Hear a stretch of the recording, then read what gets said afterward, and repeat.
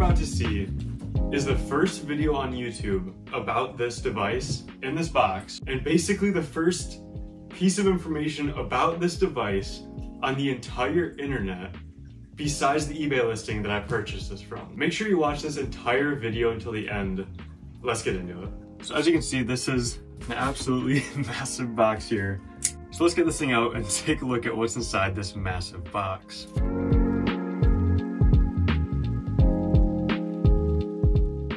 Pull the box on the floor and then just pull this thing out and set it on the desk so we can take a look at it.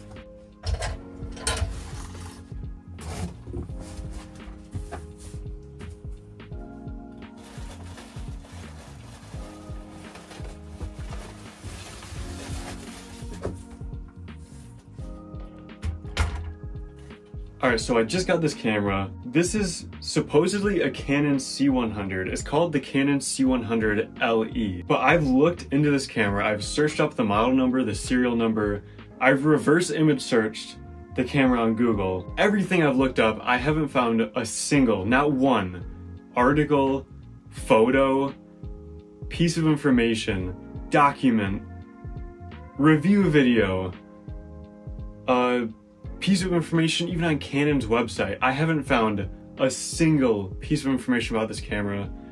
As far as I know, this camera literally doesn't exist. There's nothing about it except the eBay listing that I bought it from. So I got this for $400, which if it is truly a Canon C100, that camera sells for close to $1,000 still. Not to mention that this has a pan and tilt mechanism in it a control box and all that sort of stuff for $400, I figured it was worth it to at least see if I can get this thing going, try to figure out a way to get this thing powered up and functional. But in this video, I just want to give you a walk around of it. I'm gonna just give you a bunch of close-ups, kind of give you a little tour of it, just to show you this crazy piece of technology that there's literally no record of anywhere on the internet. This will, this will be the first piece of information about this camera on YouTube and almost the first piece on the entire internet besides the eBay listing. So I just want to give you all the close-ups of everything and just give you a little bit of a tour of this. But without further ado, here's a quick walk around of the Canon C100 LE. Alright, so to start off, right up here is what I assume is the full camera module itself.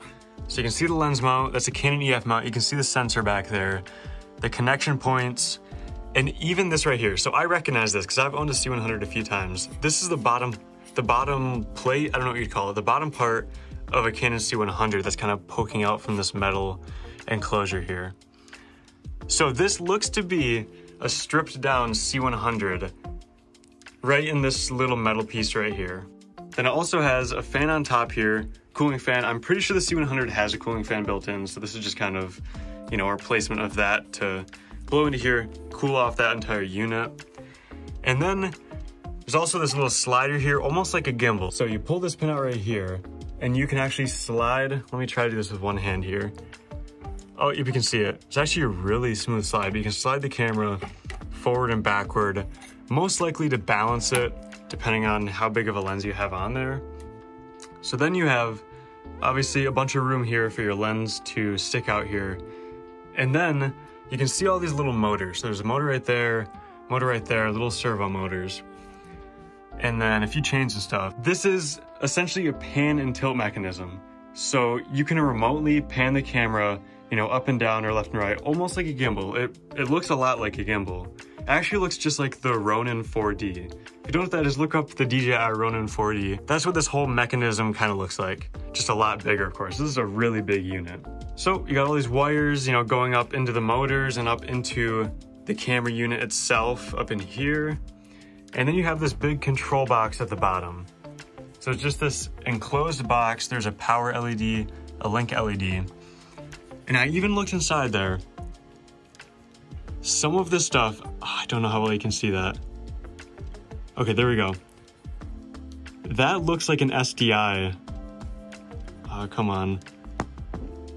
That right there looks like an SDI port. And then that one kind of does too with a wire attached to it. There's also some other ports back there.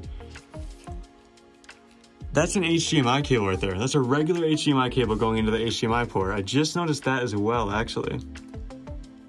You see that? That's just a regular HDMI cable. So I, I'm actually guessing the main logic boards and everything from the C100 were taken out of there, brought down in here, and then all these wires are essentially running that information up to the camera box.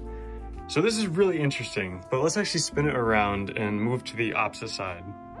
All right, so on the back here, you can see there's the camera unit that I was talking about. That's where the C100 lives, I'm guessing. There's this panel here. I wanna try to take that off and see what's behind that. But pretty much all the wires are running right into here. This is the model, the Canon C100 LE, and that's, I'm guessing, the serial number right there. Then you back up here, in this control box, these are all of the ports, all of the buttons. This is everything right here. There's not a single other port or button on this entire thing, from what I can tell. So to start off, you have cellular RF, Wi-Fi, and those are those ports right there, almost like antenna ports.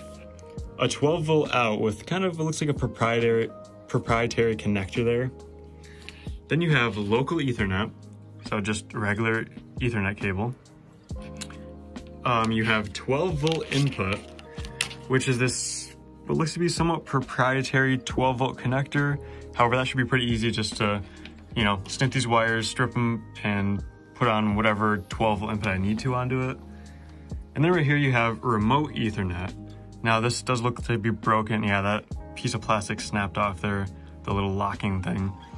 But that is everything on this. Not a single button, just 12 volt input output, um, you know, some Wi-Fi, cellular, RF connectors, and then two ethernet ports. That's the only input, output, buttons, everything like that on this is just those. So that is everything I know about this. So of course on this bracket here that I'm assuming was screwed in somewhere, you know, at one point in time. But that is it. That is all the information I know about this. That's pretty much the full tour over. Actually, let's look at the bottom real quick, because I haven't even seen the bottom. I'm guessing it's just this plate, but let's check it out. Yep, just that aluminum plate on the bottom. And this side, yeah, some more connectors in there. Power, power, two other things. Bunch of stuff inside this control box, but yeah, that's about it. That's really all I know about this. I don't know a single other thing besides just what I can see on it. So like I said, if you know anything about this camera at all, please feel free to leave it in the comments or shoot me an email. You can find my email in the about section of my YouTube channel. If you know anything about this or any way that I could try to power it or, you know, connect it with ethernet, I'm guessing you use a remote software on your computer or whatever device to control this camera. If you think you can help in any way or know any information about this, please do not hesitate to leave a comment or reach out in any way. Because this thing is crazy. This is one of the biggest mysteries. There's just nothing about it on the internet, even though it's a Canon camera. At least Canon should have information about it. But either way, that's it for this video. Thank you so much for watching. I'll see you in the next one.